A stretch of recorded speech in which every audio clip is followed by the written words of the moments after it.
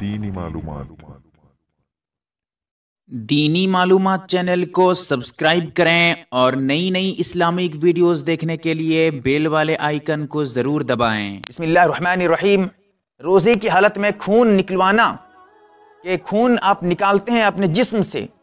مثال کے طور پر انجیکشن کے ذریعہ یا کسی اور ذریعہ یا پھر جو ہے ہجامہ لگا کر یا پچھنا وغیرہ جو لگاتے ہیں پچھنا لگا کر جو ہے آپ خون نکالتے ہیں اپنے جسم سے۔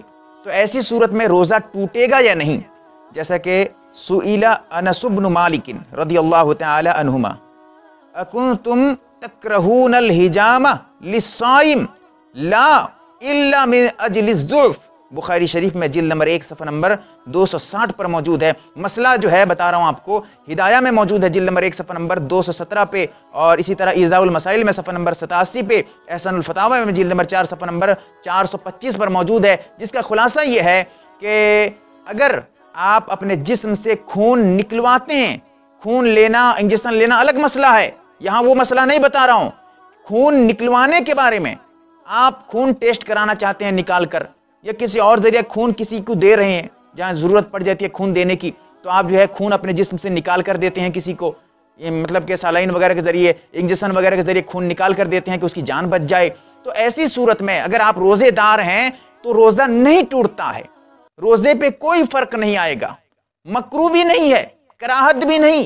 لیکن ہاں یاد رکھیں، بلا ضرورت اتنا خون نکالیں کہ جس سے جو ہے کمزوری آ جائے۔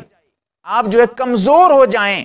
تو پھر منع ہے مطلب جائز تو ہے مکرو ہے، پسند نہیں ہے اس طرح کرنا، بہتر نہیں ہے۔ لیکن اگر ضرورت کی وجہ سے یا پھر کسی کو دینے کے لیے جہاں خون کی ضرورت ہو، آپ اس کی وجہ سے خون نکال رہے ہیں اپنے جسم سے، یا پھر جو ہے چھری لے کر آپ کام کر رہے تھے، چھری سے کچھ کام کر رہے تھے، یا کسی اور ذریعہ، یا بلیڈ وغیرہ کے ذریعہ، تو ہاتھ وغیرہ کٹ گیا، پیر کٹ گیا کسی اور جگہ سے جسم سے، جسم کے کسی اور جگہ سے خون نکل جاتا ہے۔ اس سے بھی روزہ نہیں ٹوٹتا ہے، روزہ نہیں ٹوٹتا ہے، فاسد نہیں ہوتا ہے۔ اللہ تعالیٰ صحیح مسئلہ سمجھنے کی توفیق عطا فرمائے۔ اسلام سے متعلق یوٹیوب پر ہر طرح کی ویڈیوز دیکھنے کے لیے دینی معلومات چینل کو سبسکرائب کریں اور بیل والے آئیکن کو ایک بار ضرور دبائیں۔ نیز ویڈیو کو لائک اور شیئر کرنا نہ بھولیں۔